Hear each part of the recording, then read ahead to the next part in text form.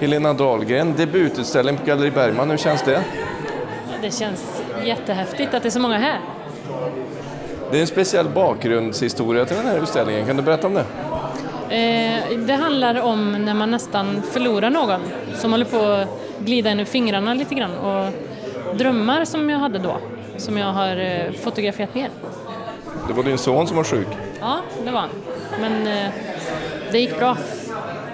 Hur kom, du, hur kom det sig att du ville uttrycka dig i, i, i bilder så här då? Eh, det, var en, det var inte... Jag, dröm, jag började drömma i stillbilder. Jag är pressfotograf eh, vanligtvis och fotograferar ju jättemycket varje dag. Sen när jag började drömma mardrömmar när min son var som sjukast så såg jag ju det här i stillbilder och jag såg de, precis de här bilderna som hänger här idag såg jag ju i huvudet. Så att jag bestämde mig en dag, många år senare, att gå ut och fotografera ner dem. För att de hängde kvar. Så jag ville få, fota ut dem, få dem ur systemet. Så jag gjorde det och kände att de blev jättetråkiga och inte alls drömlika och inte alls...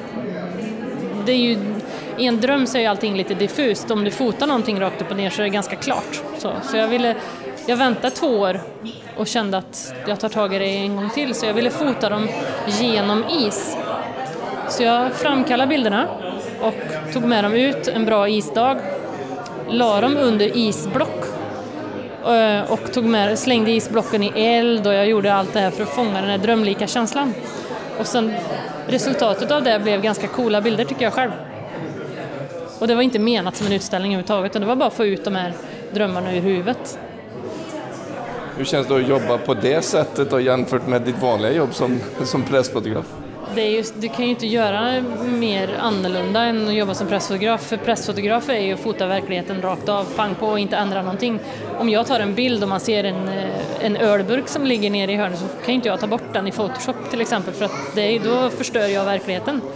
Och nu hade man ju verkligen fria händer att göra någonting. Jag menar, en dröm är ju precis raka motsatsen mot verkligheten, så det var kul.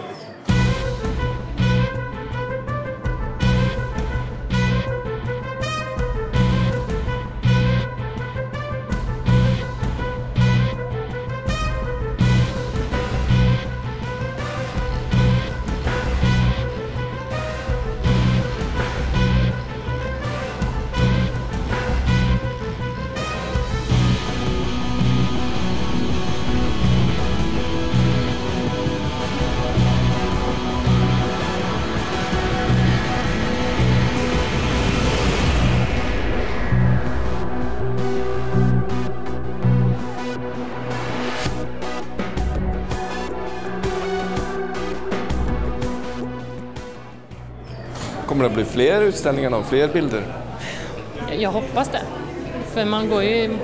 Jag har väl en utställning i huvudet redan som jag skulle vilja göra men det har man ju alltid när man, om man jobbar kreativt. Man får idéer och man tänker att det där vore fränt och så skulle jag vilja göra. Och nu när man har haft en riktig utställning så här, och folk kommer och tittar och så där, så får man lite blodad tand.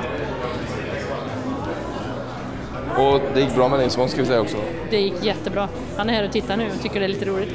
Han tycker ju det är mest kul. Ja, det var när jag fick bada med kläderna på.